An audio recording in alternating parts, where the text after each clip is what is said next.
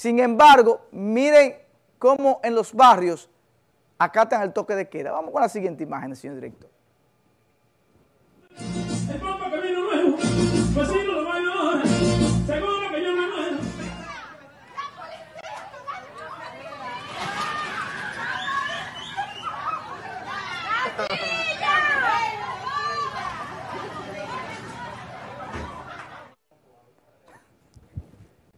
Hay que reírse, ¿eh? porque ese es el pueblo dominicano. Esos son las y los dominicanos. Entonces, presidente, ¿qué fórmula vamos a hacer? Porque el toque de queda, reitero, estoy de acuerdo, pero si se aplica, pero la gente ya le pidió el respeto al toque de queda, al coronavirus, al COVID-19 y a las autoridades. Es lamentable, es lamentable, pero es así. Entonces, si aquí desde un principio el gobierno hubiese respaldado a las autoridades, principalmente a la Policía Nacional, y no quita el toque de queda hasta que la curva verdaderamente bajara. Porque ayer en el análisis que hicimos se mencionó, y yo estoy de acuerdo con los analistas que tuvimos, el destacado jurista, el doctor Cándido Simón, el licenciado Antonio Dilonet, el licenciado Yerjan La Antigua, que como el presidente de la República me dice que tiene el COVID-19 controlado en 90 días en República Dominicana. Imposible, imposible, pero no lo tiene la policía controlado la población con el toque de queda, menos van a tener controlado el COVID. O sea, son de los desliz que mi querido presidente, que está haciendo un trabajo excelente, y que de verdad que en 90 días, quizás no todo lo que él dijo se ha cumplido a, carta cabal, pero gran parte se está mejorando. Pero no de, por Dios, y, eso, y, esa gente de ahí, ¿qué es lo que está pasando? Cuidado, cuidado, sí, sí, porque aquí la delincuencia está que bueno, la tenemos aquí adentro. Le decía que el COVID en 90 días no puede estar controlado si no hemos controlado, no hemos tenido la fuerza de controlar el toque de queda. Miren ustedes, para que tengan una idea, cómo va el tema de la comunicación y del COVID y del toque de queda. Ayer un grupo de comunicadores, colegas, miembros del Sindicato Nacional de Trabajadores de la Prensa, que no sé por qué se quejan, que me acusen mis colegas del Sindicato Nacional de Trabajadores de la Prensa. Volvieron otra vez eh, cuando estaba el general Alberto Ten el cual fue trasladado a la provincia de Santiago, se reunieron con el general con el mismo tema, que hay gente usurpando funciones de periodistas y de trabajadores de la prensa. Yo le digo, están mal, están mal, porque esos jóvenes lo que están buscando, que yo no estoy de acuerdo, pero se están buscando su, su dinerito con el toque de queda, son de los que le han sacado beneficios al toque de queda, son los que le están sacando dinero al toque de queda. Yo no estoy de acuerdo, pero tampoco lo condeno, porque de una forma tienen que vivir, hacer dinero. Esas transmisiones que hacen del toque de queda, yo no estoy de acuerdo porque eso vicia el trabajo de la policía. ¿Por qué? Primero, la gente, ¿qué hace? Cogen a ver para dónde anda la policía. Ah, no, están de aquel lado de la ciudad. Se fajan a beber y a celebrar.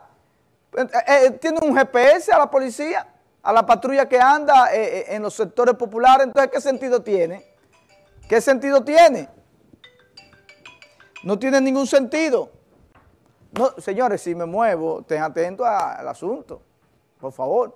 Entonces no tiene ningún sentido de un toque de queda que se supone que es para apresar a las personas que están violando el toque de queda, pero si tú tienes en video, real time, no tiene ningún sentido, pero bien, eso no me compete a mí, eso no me compete a mí, eso le compete a las autoridades, en este caso, en, el caso de la provincia de Duarte, al director de la Policía Nacional, eh, Cenas Rojas.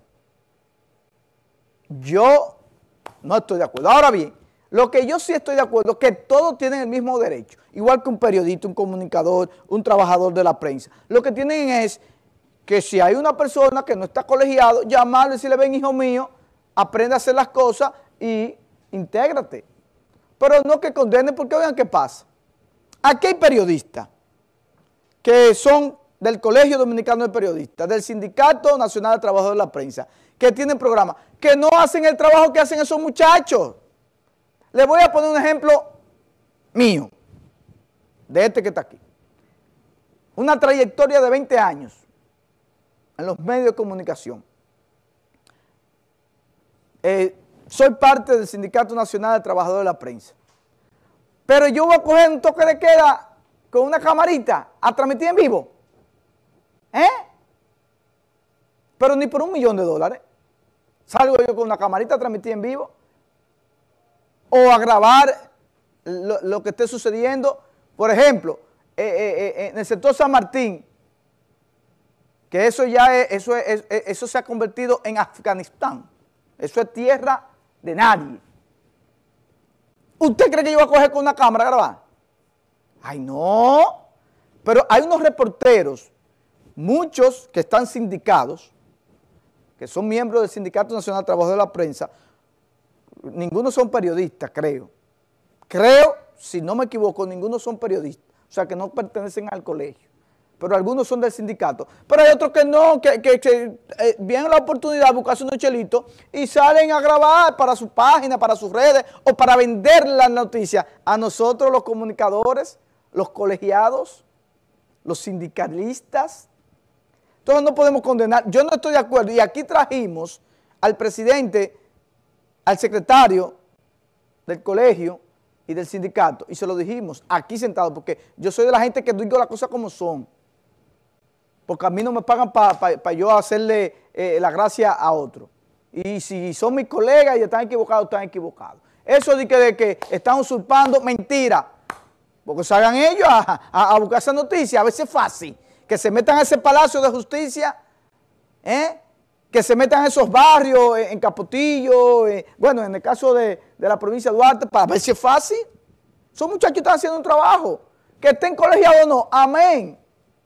Amén, lo que tienen es que, en vez de ponerse en China, lo que tienen que ir donde general, decirle, mi general, eh, eh, ¿cuáles son? El general lo agarre, que yo no estoy de acuerdo con eso, eh, reitero, pero si lo están haciendo, mire, ¿usted para qué medio trabajo? Bueno, yo le vendo la noticia a Juan, a Pedro, a José, a quien sea, o yo lo hago para ganarme unos chelitos. Ah, pues mire, vaya al sindicato, explíquele que usted está haciendo este trabajo y que le den una acreditación. Es lo que yo entiendo. Vamos a escuchar este encuentro, señor, señor director, que tuvieron eh, parte del Sindicato Nacional de Trabajadores de la Prensa, algunos comunicadores, con el director de la Policía Nacional Nordeste, el general Sena Rojas. Vamos a escuchar. Escuchar este llamado ha utilizado el Sindicato de Trabajadores de la Prensa de la provincia de Duarte y el Círculo de Locutores, su presidente entrante, Tito Freddy Rodríguez, una serie de, cuestionamientos que ellos querían hacerle, y sobre todo algunas inquietudes, algunas dificultades que se han presentado. Y yo creo que las relaciones entre medios de comunicación, sindicatos, policía, redes sociales y sobre todo medios digitales. Existe un espíritu sano de colaboración que debe reinar.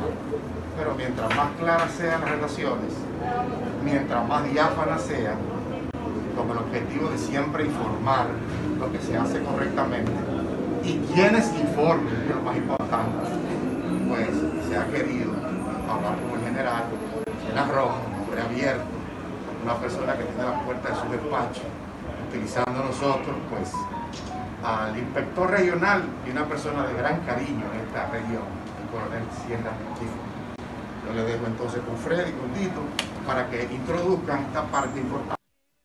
Miren, eh, a propósito, eh, ahí escuchamos un poco, tengo entendido, eh, ojalá que Xiomara Arias, relacionadora pública de la Policía Nacional de la División Nordeste, él nos llame. Xiomara, si no está viendo, llámanos.